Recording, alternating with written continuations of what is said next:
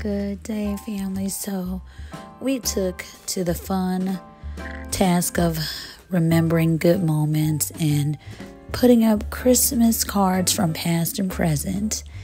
And it is day 11 of our countdown of Christmas. And uh, that means it's December 11th, of course, 2022. And as we go through our Advent calendar, we will continue reading from the Gospel of Matthew. Then Herod secretly sent for the Magi and learned from them the exact time the star had first appeared.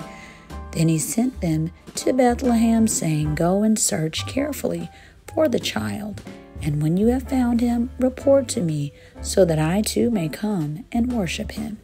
After hearing the king, they went their way, and behold, the star which they had seen in the east went on before them, continually leading the way until it came and stood over the place where the young child was. Matthew chapter 2, verses 7 through 9.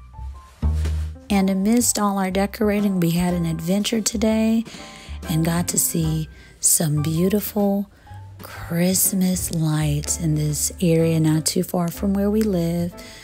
There's a beautiful home and partial um, property that is decorated for viewing, and they only asked for donations. So it was a wonderful Christmas evening out.